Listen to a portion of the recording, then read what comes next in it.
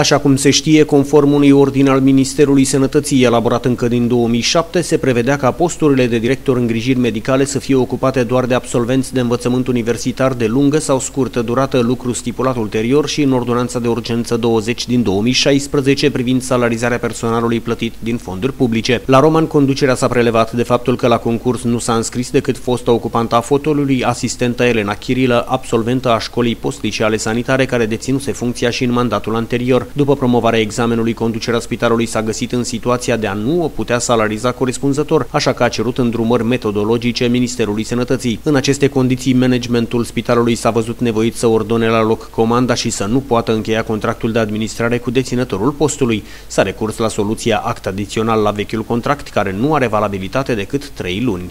Problema este alta. La, într-adevăr, la postul de uh, director de îngrijiri medicale, uh, conform metodologiei, uh, tot la fel, ordinul 284, scrie destul de clar că postul poate fi ocupat la momentul respectiv. Putea fi ocupat de asistent uh, uh principal, uh, asistent cu studii uh, superioare.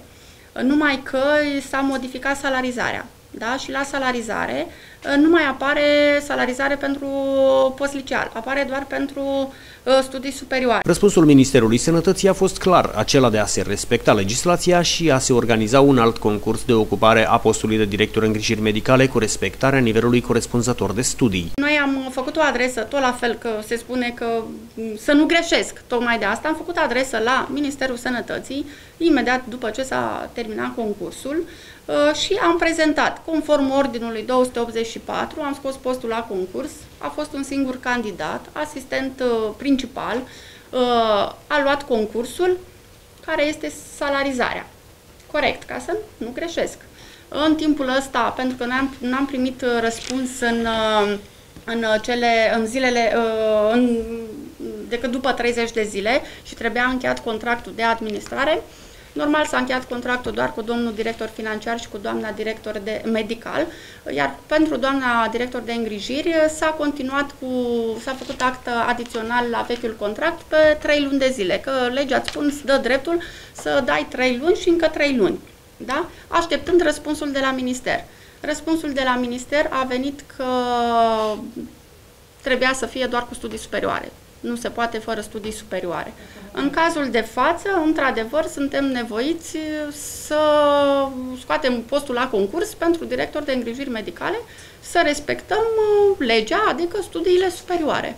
Cum nu mai poate ocupa funcția de director îngrijiri medicale, Elena Chiril a trebuit să-și găsească un alt post, așa că s-a găsit soluția de a ocupa unul în cadrul compartimentului de management al calității control intern managerial înființat în baza ordinului 400 din 2015. Controlul intern managerial este definit prin lege ca reprezentând ansamblul formelor de control existente la nivelul entității publice stabilite de conducerea unei instituții în conformitate cu reglementările legale, în vederea asigurării administrării fondurilor publice în mod economic, eficient și eficace. Obiectivul Obiectivele acestui control intern țin de eficacitate și eficiența activității manageriale, deși înființat, acest compartiment nu funcționează încă efectiv pentru că nu are decât un secretar, pe Alina Nahoi, și un asistent medical, pe Elena Chirilă, care a urmat cursuri de specializare pentru postul pe care îl va ocupa. În postul de șef al compartimentului va trebui însă angajat un economist cu experiență și competențe de control, post care urmează a fi scos ulterior la concurs.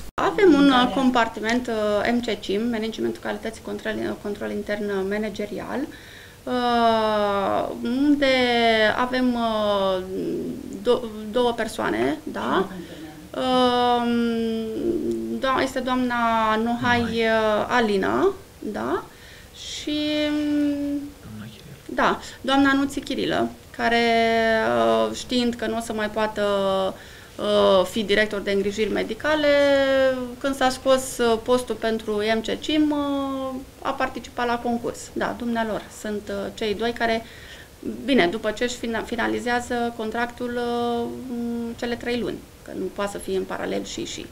Managerul spitalului spune că la concursul de ocupare a postului de director îngrijiri medicale nu s-a înscris decât Elena Chirilă, care nu avea decât studii postliceale, așa că în vechea metodologie s-a găsit o portiță de a putea participa la concurs. Cum legislația în privința salarizării n-a mai putut fi adaptată nevoilor, conducerea spitalului va trebui să scoată din nou postul la concurs în speranța că se va găsi unul dintre cei 10 absolvenți ai facultății de medicină, cursuri de scurtă durată, care să vrea să se înscrie, sau poate postul va fi dorit chiar de către un medic cu studii de lungă durată. Se va vedea cum va evolua situația ulterior alegerilor locale din 11 iunie și ce modificări vor apărea în structura de conducere a unității sanitare romașcane, în condițiile în care presiunile politice asupra managementului SMUR sunt din ce în ce mai mari și mai vizibile.